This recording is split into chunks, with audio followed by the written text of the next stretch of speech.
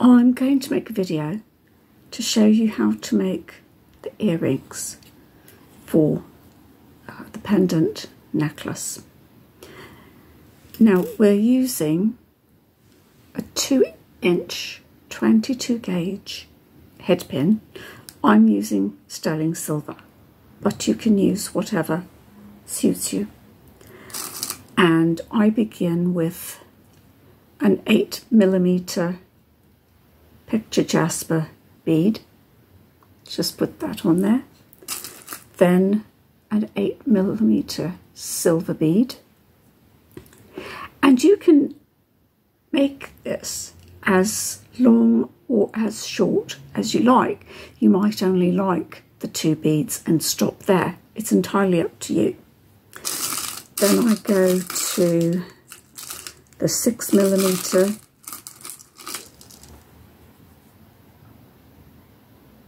bead and six millimeter silver bead. Where did I put those? I thought I had them. Found them. I packed them. Six millimeter silver bead. For the rest in there. Put that on. And then for my earrings, I'm choosing to follow up with a four millimeter picture jasper bead.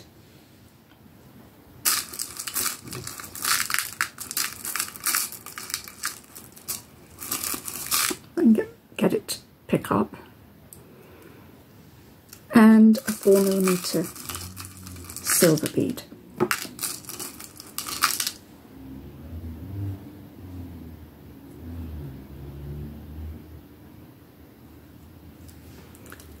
and I'm going to stop it there.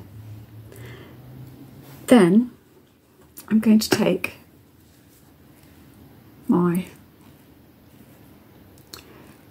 round-nosed grips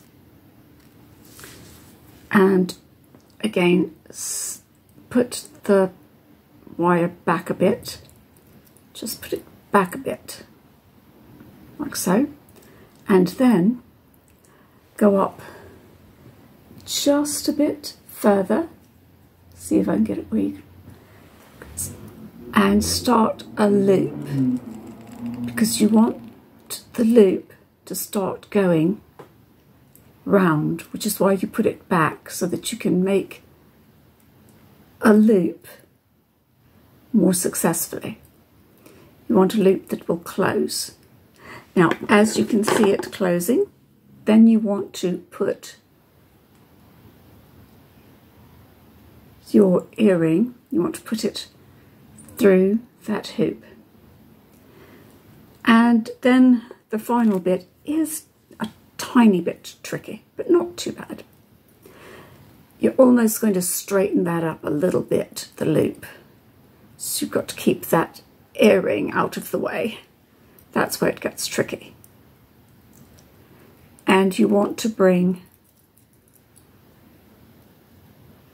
the end of the wire to a close.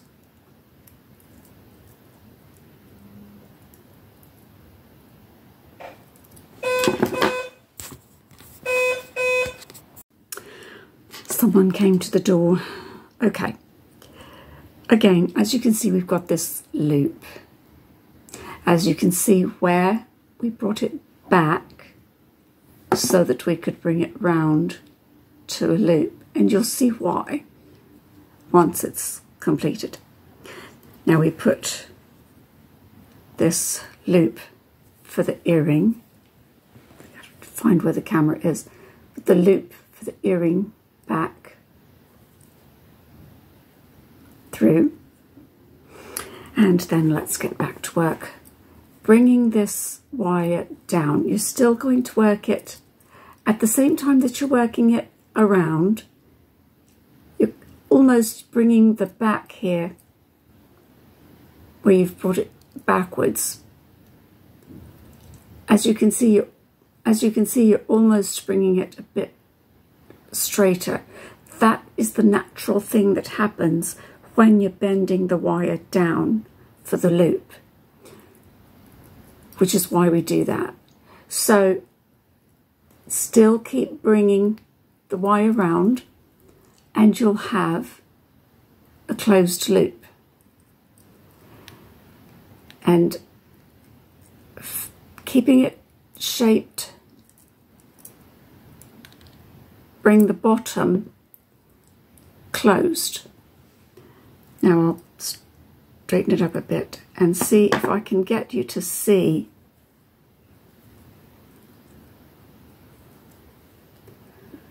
what I mean. Okay, so once you get it on the earring, you have a closed loop. Whatever little bit of extra wire you have, I think you can see that little bit sticking out. Get these trusty nippers.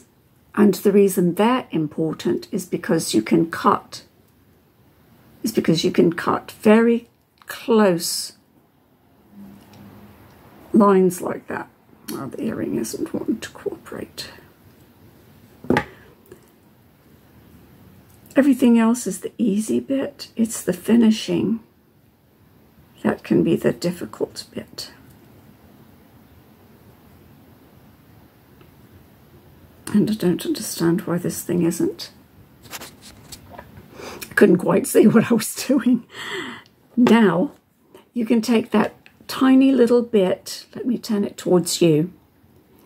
I think you can see that there's a tiny little length of wire. See it? I think if you can just see it. And because it's so close, you can take your little nippers very close to the silver bead and just put it up close to that wire and nip off the little tip, which makes it a perfect close. Now what you want to do is take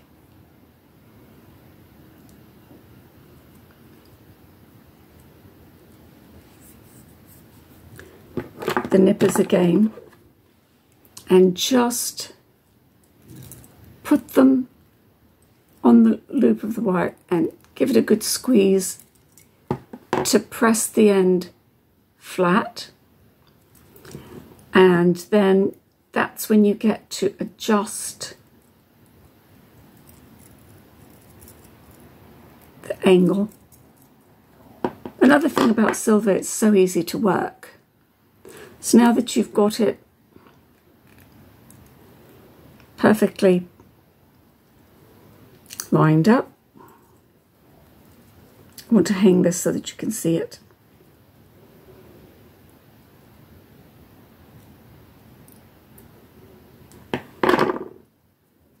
Yeah, you can see that. Now that you can, now that you have it all perfectly lined up, you can see that it's not wonky anymore. Hangs beautifully. And there's your earring. So that those with it's the same as with the necklace. The closing bits are the tricky bits, but the rest of it is quite easy. So you'll actually enjoy designing and making your own earrings. And the thing about knowing how to make that hook means that you can just make whatever you like. And what I'm going to show in other videos is how you can actually make loop earrings because I have some which are like that and they're not that difficult either. You'll need wire protectors for those, just like with the necklace, but I'll show you all of that. And then you can just do whatever you like and you have an earring. You can make it as long as you like, as short as you like, and with whatever beads you like. So I hope this was enjoyable.